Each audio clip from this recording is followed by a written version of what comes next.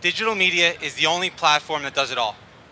Starting with 4K 60 HDBaseT, 4K 60 fiber, H.264, and now the new network video DMNVX.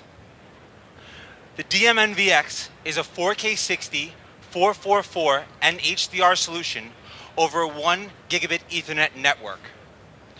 What that allows you to do is be simple, scalable, and securable.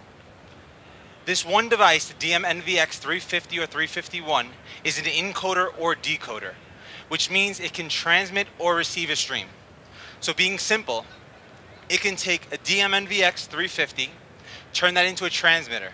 It can take the source in, then stream it over the one gigabit network switch to another DMNVX 350 in receiver mode. Then, then that gets output to a display. That's a single point-to-point -point scenario. Now, since we're on the network, this can be scaled. Because the network is flexible, I can infinitely scale my devices.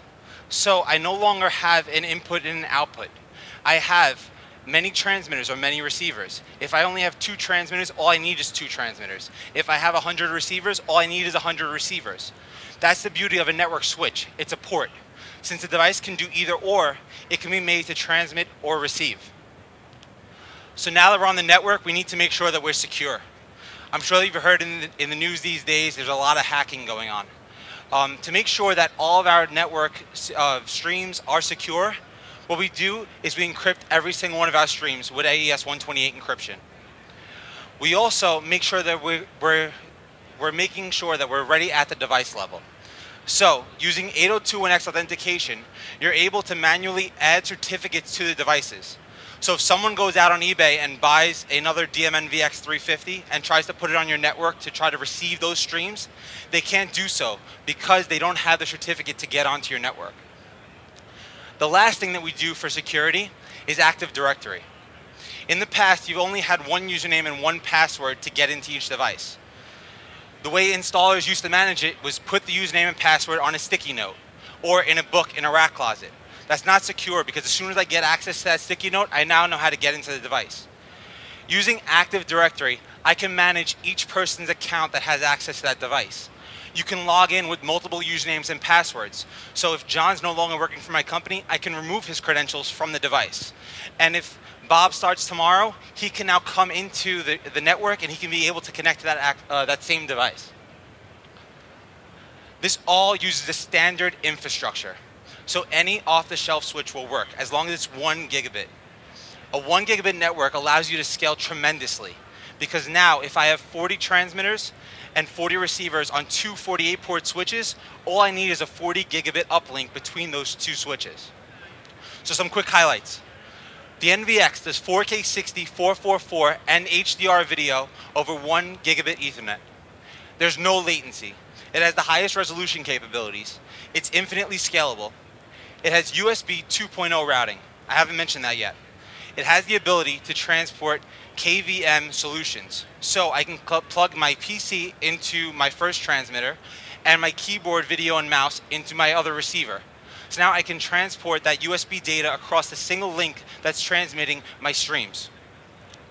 I also have breakaway audio. So if I have compressed audio, I can down mix that to two channel out of my analog audio output or my HDMI audio output. But the device also has a secondary audio stream. So it can take the primary video stream and receive another secondary audio stream so you can mix them together and they can be seen simultaneously. I mentioned no latency. With streaming, latency and quality are always a big concern. Crestron has no additional latency compared to our HDBaseT solutions. So when you compare our devices to the current DM RMC 4K Scaler C, the NVX has no added latency because we're using a patent pending technology which takes the decoding and scaling latency and combines them together. This demo, actually this presentation, is running a DMRMC 4K Scaler C in the top left, and then three NVXs around the sides. Those, this demo is able to show you that the latencies are perfectly in sync the HDBaseT solution right here versus the NVX, they can be seen together. As you see the Tiger move, they're moving at the exact same time. To make it clearer, I'll put it into a one by two video wall mode. As the Tiger moves across the stream, as uh, across the screen, you can see that he's moving with the video. So there's no added latency when crossing. Also for quality, in this next video, you can see the coffee beans, the detail that it takes to get that same video. HDBaseT T and DMNVX, they're exactly the same. So going back to the models now. The two models are the 350 and the 351. The one means that it has a DSP. So I can take compressed audio and downmix it to two channel audio out of my analog audio outputs, secondary audio stream, or HDMI. The C stands for card. So these are cards that will go into the chassis. The chassis powers up to eight cards. It's rack mountable to a 2RU, and it has full front panel control so you can set your IP addresses and name these cards. If you want to expand your chassis more than that, if you want more encoders or decoders in that chassis or in that rack, I just add another chassis on top of it. Because it's 2RU, you can fit as many as you want for that rack. So here's a close-up look at the device. The device and host ports are for USB 2.0 routing. Those are your KVM solution. I can either receive the PC or have the mouse and keyboard connected to that port. Either or, it doesn't matter. You can't do both at the same time. I have a three-port Ethernet switch here, two copper ports and one fiber port. My copper ports, the first one can be used uh, going to my uplink. The second one can be my courtesy port for my television or my projector, whatever needs to get back on the network. I only need to run one cable for that solution. And the fiber port is for long distance extensions that exceed the copper. My HDMI output, in transmitter mode, it's my confidence output. It's, I'm able to see whatever's selected at my inputs. It's what's going out on the stream. When I'm, on, when I'm in receiver mode, the output is able to output the stream or output either of the HDMI out, uh, inputs. This is a two by one switch. It's an auto switch as well. So if I plug in HDMI input 1, it will switch to 1. If I remove 1 and plug in 2, it will switch to 2. You can also turn off that feature if you don't need it. You also have an analog audio, input or extract. So if I want to insert audio, analog audio, into my uh, HDMI stream, I can do that. If I want to extract audio and put it into an audio distribution system, I can do that as well. Lastly, the endpoint has an IR and COM port for full control for a television or a projector or whatever else needs to be controlled in the installation. Now the cards. They're the exactly the same as the endpoint. The only difference is it does not have an IR and COM port. In a rack, you usually have a control system with you. There are a ton of IR and COM ports on that control system that you could take and move to your sources. So I said it was simple in the beginning. We make it simpler by having a web-based control. Every single device has the ability to be controlled by the web interface.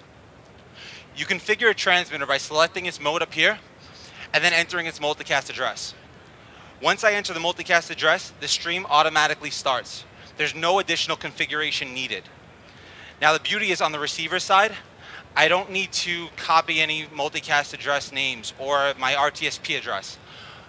Using a subscription-based routing, we're able to see all the available streams that are on the network. We're then able to subscribe to those streams and they appear here. On the routing page, if I only subscribe to two streams, you'll only see two available transmitters that you can route to. If you, see, if you subscribe to 10, you will see all 10. For a small system, five units, 10 units, this can be easily managed using the web interface. But if I have hundreds of devices on my network, since this can easily scale, I need to make sure that I have a place to manage that. So using the XIO director, we'll be able to provision, configure, and manage all the devices on the network. You'll be able to route from it. You'll be able to do firmware upgrades. You'll be able to see all the signals that are coming into your transmitters and all the signals that are going out of your receivers. This is on display here in Area 10 next to the no latency, best image quality, and XIO Director. If you want to come see it on demo, please stop by and talk to one of the guys or come see me afterwards and we can talk about it. So as I mentioned, in this simple point-to-point -point solution over one gigabit network switch, you can have that feature. But because now we're on the network, we can scale this very, very easily. So you can have 5, 10, 100, 1,000 devices on your network and fully controlled.